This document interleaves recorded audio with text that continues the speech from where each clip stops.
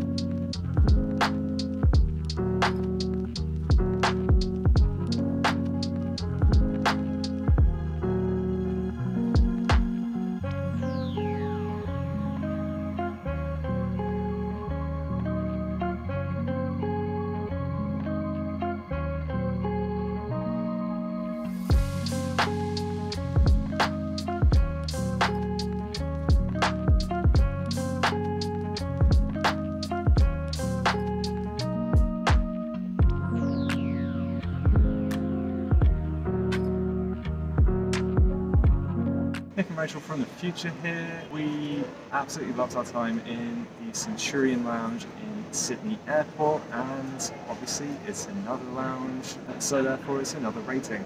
Starting out with food, it was all really good breakfast food. It was really nice to have a full English. They also had some pastries available as well as cereal. It was a small selection, but not the smallest, and the quality was really good. So with that, we're giving it an 8. They also had a great selection of drinks. They had a full soda fountain, water at your disposal, barista made coffee, as well as five different types of beer and cider, a bunch of wines, and top shelf spirits. The only downside is that there was nothing portable that you could take with you. So with that, then we're going to give this one an 8. Not much to say about the cleanliness. We're giving it a 9. Comfort wise, plethora of different seating options and very spacious. And certainly because of the fact that we went at quite a quiet time, then we had basically the freedom of the lounge. So therefore, we're giving this a 9.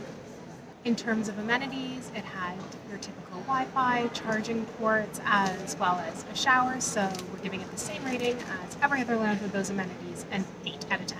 And that gives this a grand total of 42 out of 50, which then, again, rates us among the top lounges that we have been to on our travels so far.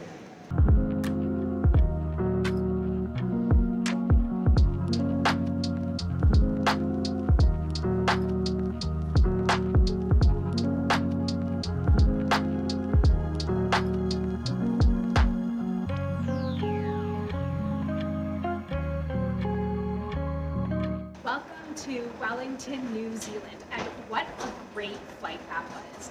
You never know with cost saving measures these days, even with the mainline carriers, what kind of service and amenities you're going to get.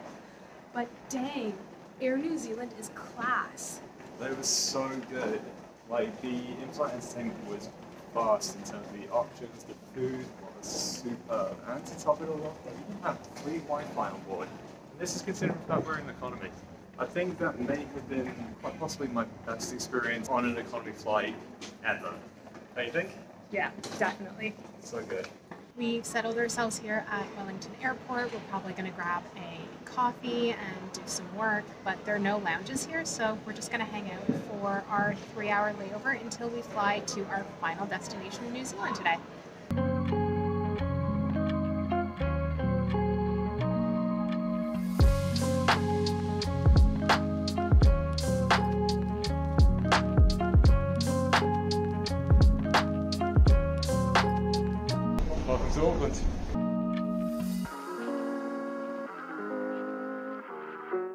Okay, so for anyone who doesn't know, and why would anyone know because we've kept this a surprise, my cousins Ruth and Jacqueline are actually meeting us here, and we're going to be traveling around the North Island with them for the next week.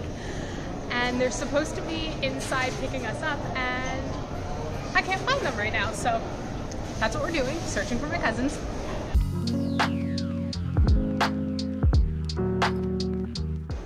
There we go.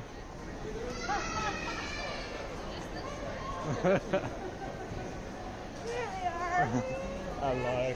How you doing? So we were at the very far end that way. Oh.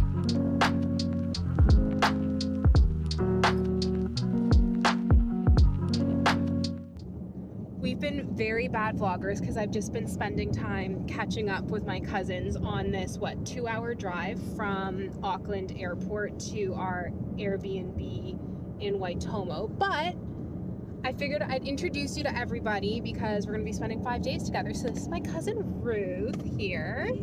And in the front, we have my cousin Jacqueline, and Nick is doing an awesome job driving. So I think we're pretty close, 10 minutes away now.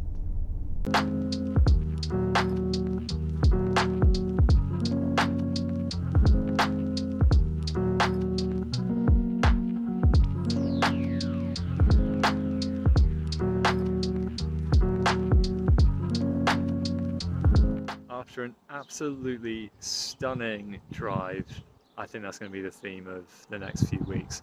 But anyway, after an absolutely stunning drive, we are here at our Airbnb, and I think we're going to call it here. We will pick this up tomorrow. So until next time, take care. And keep smiling.